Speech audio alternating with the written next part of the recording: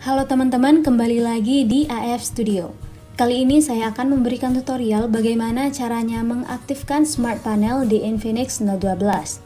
Dan untuk mempersingkat waktu, langsung saja kita ke videonya. Jadi pertama-tama di sini teman-teman harus buka terlebih dahulu aplikasi pengaturan di sini. Setelah itu di halaman pengaturan ini teman-teman cukup scroll sampai bisa menemukan ada opsi tambahan fitur langsung masuk aja. Dan di halaman ini teman-teman klik di Smart Panel. Lalu untuk mengaktifkan Smart Panel, di sini teman-teman bisa melihat ada opsi Smart Panel dan ada tombol di sebelahnya. Teman-teman cukup aktifkan aja tombolnya seperti ini. Dan ketika tombol di samping Smart Panel ini aktif, berarti Smart Panel di HP teman-teman dia juga sudah aktif. Nah, di sini teman-teman juga bisa melihat tutorial gestur untuk mengaktifkan Smart Panel ini dia caranya usap ke dalam dari tepi kiri layar dan berhenti sejenak seperti ini. Dan ya ini dia smart panelnya teman-teman bisa lihat dan di sini juga di sebelah kanan juga teman-teman bisa melakukan hal yang sama. Dan ya setelah itu teman-teman bisa langsung cek aja dan di sini teman-teman juga sebelumnya bisa menonaktifkan tombol getarnya.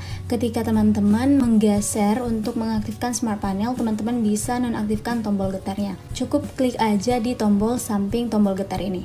Dan di sini saya akan coba terlebih dahulu, saya akan geser dari sebelah kanan ke kiri seperti ini. Dan ya ini dia.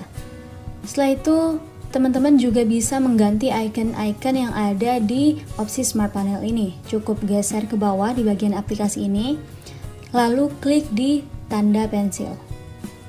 Dan ya teman-teman bisa lihat di sini adalah icon-icon atau fitur-fitur yang ada di opsi Smart Panel. Teman-teman bisa mengganti ini yang di sebelah kiri ini yang sudah tersedia di Smart Panel. Dan kalau teman-teman ingin mengganti, cukup klik aja di sini ada garis Misalnya di sini saya akan menghilangkan fitur tangkapan layar dan ya tangkapan layar yang tadi ada di sebelah sini, sebelah kiri dia sudah berganti ke sebelah kanan.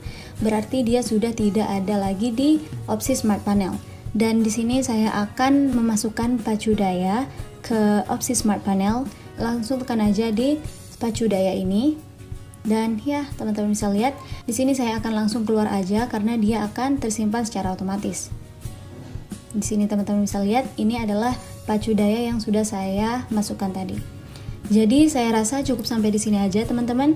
Terima kasih untuk kalian yang sudah nonton video ini sampai akhir. Jangan lupa tinggalkan like, komen, dan subscribe untuk terus support channel ini. Dan yang terakhir, sampai jumpa.